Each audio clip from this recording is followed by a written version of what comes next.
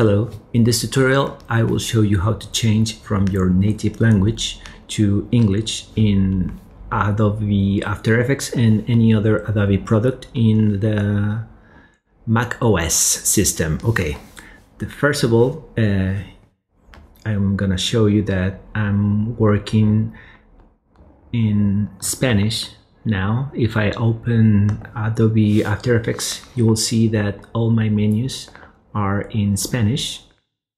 And that's not what I want because most of the tutorials are in English so it's easier to work. So first of all you have to go to show content on your app from After Effects and you will see all these folders.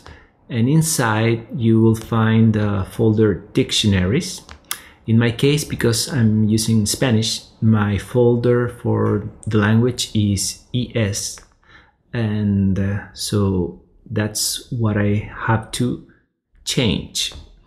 Uh, we will not erase the delete the file because uh, maybe uh, Adobe will think it's a corrupt file or something, or you will have problems when you want to uh, uninstall the file. So we better change the name. And for that, we will use uh, a proper name. We will change the name to backup.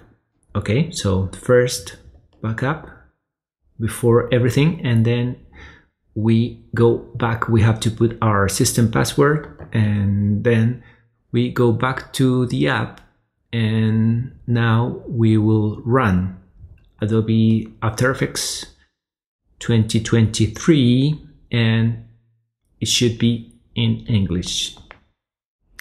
And that's it. I hope you find it useful. Uh, if you want to follow me or comment anything, thank you so much. See you later.